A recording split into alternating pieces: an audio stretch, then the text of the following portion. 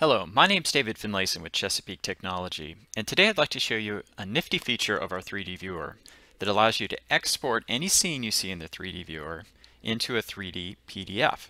This allows you to share the document with other people who don't have a copy of SonarWiz.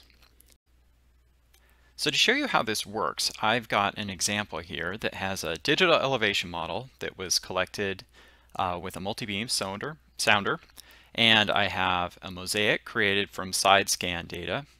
And underneath, we also have uh, some sub-bottom profiles that we've created curtains for and put them all into a single scene.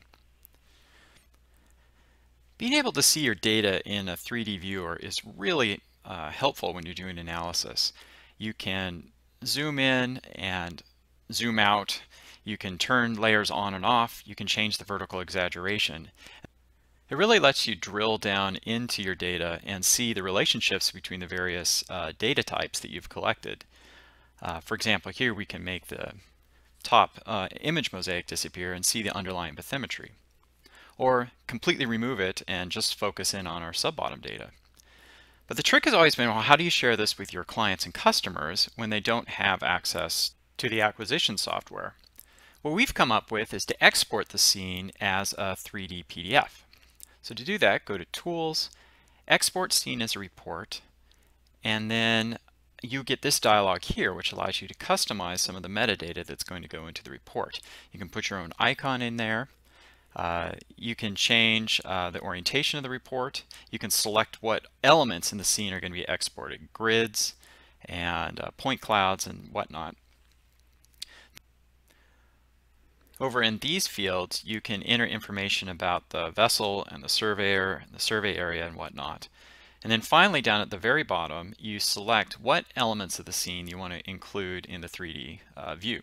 So you, any item that has been loaded into the 3D scene can be selected or deselected. When you've arranged the dialog how you want it, then click the Start Export button and the 3D viewer will start to export and build the 3D PDF for you. So this takes a few moments.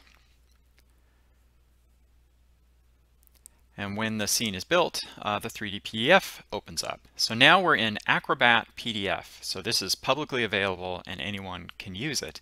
But the entire three-dimensional scene that we were looking at uh, is now exported. So we can pan around, we can zoom in, we can look at the underside and see the sub-bottom profiles and uh, you have all access to all the controls that 3D PDFs have uh, for looking at the data. You know, we can play with the vertical exaggeration, and you can give this to your customers without having them have a powerful computer or needing uh, a copy of SonarWiz or some other viewer software to actually visualize. In fact, you can embed these into other PDF documents if you have the appropriate uh, Adobe software. So now you know how to make a 3D PDF in SonarWiz. If you'd like to learn more about SonarWiz, visit us at www.chesapeaketech.com. There you can find more videos like this, as well as information about our upcoming training. Thank you for watching.